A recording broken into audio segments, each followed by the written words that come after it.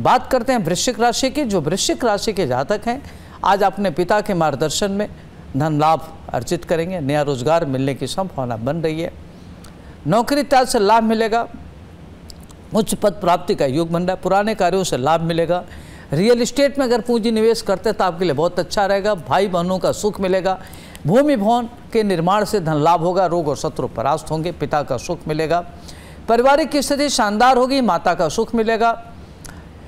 आपको कर्जे से मुक्ति मिलेगी। सावधानी क्या बरतनी है? निगेटिव थॉट के लोगों से दूर रहना आपके लिए अच्छा रहेगा। उपाय क्या करना? बंदरों को भुना हुआ चना और गुड़ ज़रूर खिलावें और भगवान भोलेनाथ की आराधना करें। ओम नमः शिवाय। मंत्र का कम से कम तीन माला जप करें।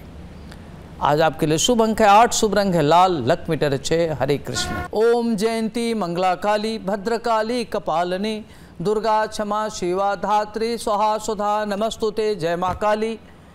नमस्कार, मैं हूँ ज्योतिषाचार्य डॉक्टर अरविंद त्रिपाठी। आप देख रहे हैं भाग्य गुरु कार्यक्रम। भाग्य गुरु कार्यक्रम में आपका बहुत बहुत स्वागत है। आज हम आपसे बात करेंगे कि आज का महामंत्र क्या है, महामंत्र का जप कैसे करेंगे, जप करने से आपको क्या लाभ मिलेगा। पंचांगों के बारे में बताएँगे कि पंचांग की क्या स्थिति है, सूर्योदय कब होगा, सूर्यास्त कब होगा, चंद्रोदय कब होगा, चंद्रास्त कब होगा। कौन सी तिथि है, कौन सा नक्षत्र है, योग क्या है, करण क्या है, राहु काल कब है दिशाशूल कब है? ये सारी बात हम आपको बताएँगे। बारह आइए बात करते हैं आज के महामंत्र की।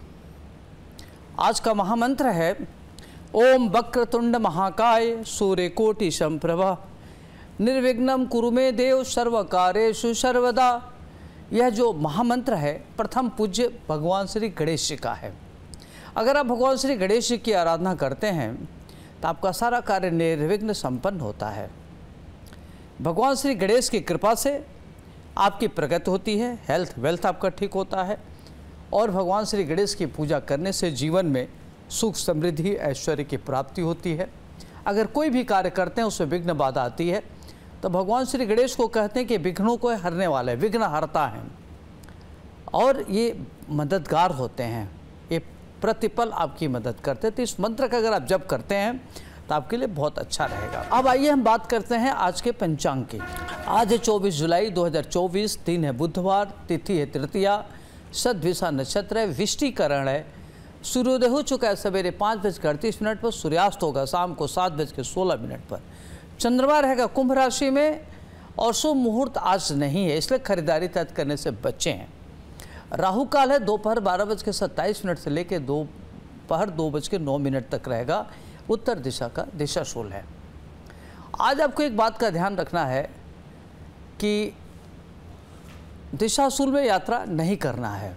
लेकिन लगता है यात्रा पूर्व निर्धारित है तो आप क्या करें कि एक दिन पूर्व शुभ मुहूर्त में प्रस्थान निकाल के तब करें, आपके लिए अच्छा रहेगा। आज खरीदारी के लिए कोई शुभ मुहूर्त नहीं है तो कोई भी नया कार्य शुरुआत करने से बचें। दिशाशूल में यात्रा एकदम न करें, इस बात का भी ध्यान रखना आपको, और राहु काल में कोई भी नया कार्य न करें। अब आइए हम बात करते हैं बारह राशियों के बारे में, क्या इसकी बारह राशियाँ क्या कहती हैं? कौन विदेश जाएगा, किसको सरकारी नौकरी मिलेगी, किसके घर में किलकारी गुजेगी, किसके घर में सहनाई बजेगी, आयात निर्यात से किसको धन मिलेगा, कौन उच्च पद प्राप्त करेगा, किसकी राजनीतिक स्थिति कैसी होगी पारिवारिक स्थिति कैसी होगी सारी बात बताएँगे। किस रंग के प्रयोग करने से आपका भाग्योदय होगा?